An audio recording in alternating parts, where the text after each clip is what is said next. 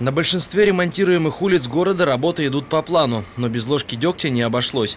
Капитальный ремонт улицы Свердлова начался в сентябре прошлого года. В последний раз в качестве срока окончания работ называлось 30 июля.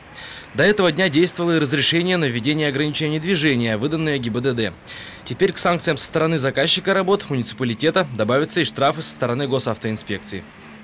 30 июля подрядчик должен был сдать э, проезжую часть для полноценного движения. Как видим сегодня, 200 э, метров из километра протяженного объекта, да, 200 метров сегодня не доделано.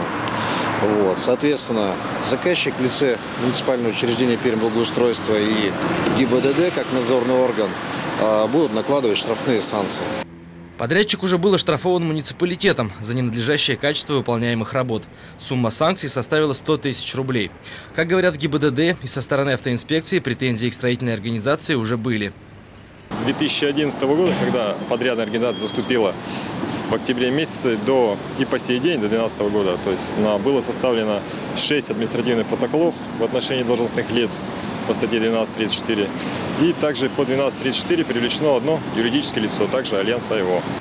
Подрядчики, затянувшееся строительство, объясняют большим числом старых коммуникаций в этой части Мотовилихи. По словам дорожника, многих водоводов просто не оказалось в месте, указанном в проектной документации.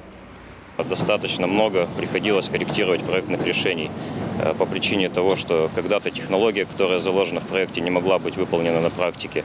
Э, иногда просто те сети, которые нарисованы в проекте, ну, не нарисованы, запроектированы, да, фактическое расположение сети оказывалось не совсем там, где оно должно быть. Тоже влекло за собой э, корректировку проекта.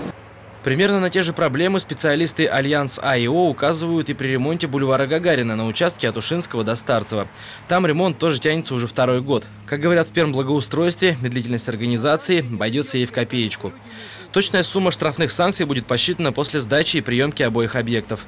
Новые сроки окончания ремонта улицы Свердлова и бульвара Гагарина 1 сентября текущего года. Олег Романов, Антон Шибанов, Василий Дулепинских, телевизионная служба новостей.